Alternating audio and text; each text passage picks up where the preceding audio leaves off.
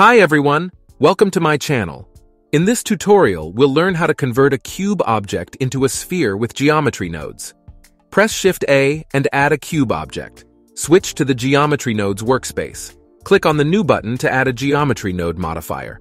First, we need to have more geometry to work with. Press Z key to switch to wireframe mode. Add a Subdivide Mesh node.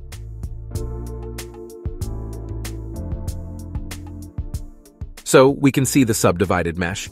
We can increase the subdivide level. Let's set the level value to 3. As you know, a sphere basically is a set of points that are equal in distance from the center. So, the radius length of all vertices is equal. In order to turn the cube into a sphere, we're going to move individual vertices inside so that overlap the sphere surface. We're going to use the set position node to move the vertices. Let's add a set position node. In the spreadsheet editor, we can see each vertex has a position vector.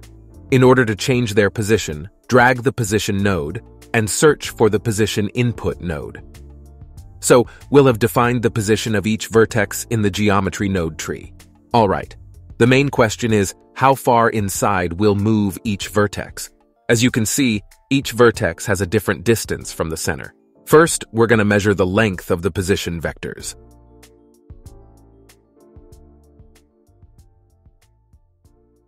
Add a vector math node.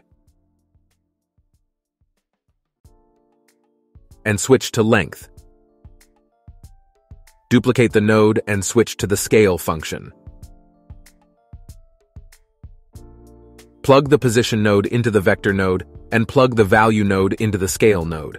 The scale node takes each vertex position vector and multiplies it by the length of the vector. Let's plug the vector node into the position node. As you can see, the result is a weird geometry. It's because a longer vector is multiplied by a higher number, and it makes that vector much longer. We need to flip this result to get a sphere. To do that, let's add a math node.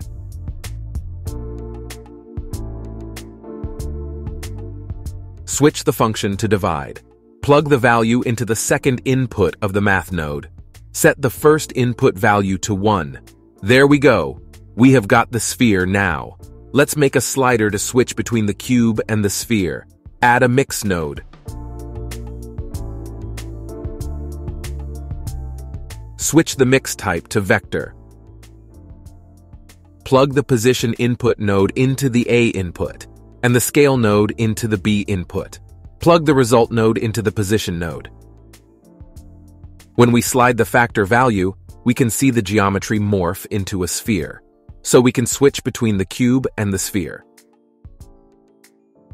We can also increase the subdivision level. Alright, we have made this manually to get understand better. We can also make this practically with the normalize vector node. Let's delete these nodes. Add a vector math node. Switch to the normalize function.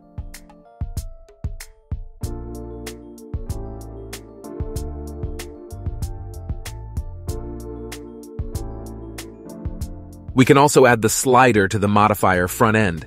Just plug the factor node into the group input node.